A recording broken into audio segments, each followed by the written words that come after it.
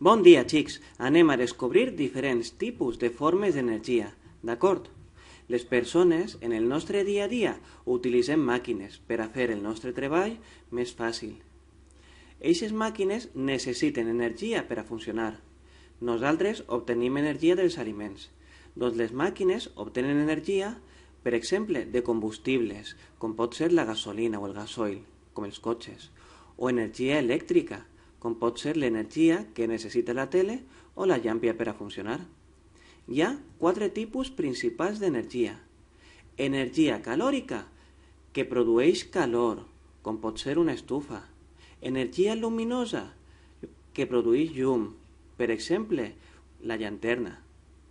Energia elèctrica, que produeix electricitat, com una bateria o una pila. I energia mecànica, que produeix moviment. Un molí, un molí de vent, per exemple, utilitza o genera energia me mecànica. Mm? L'energia que utilitzem normalment en casa és energia elèctrica. Mm? A més, aquesta energia pot transformar-se en altres formes d'energia. Si posem una pereta o una llàmpia a la llum, convertim l'energia elèctrica en energia luminosa, veritat? Perquè ara agafem llum. Si posem un radiador a la llum, aconseguim energia calòrica. Si posem un ventilador a la llum, aconseguim energia mecànica. L'energia elèctrica podem transformar-la fàcilment en altres tipus d'energia. Repassem.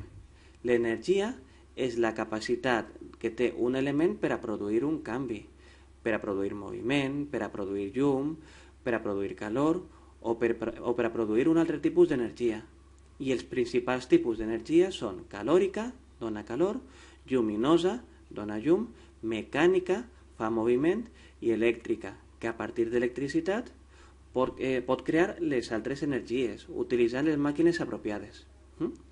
Per què no fas un recompte en la teua casa de quins aparells hi ha amb energia calòrica, quins tenen energia luminosa, quins tenen energia mecànica i quins tenen elèctrica? I ens ho contes a tots.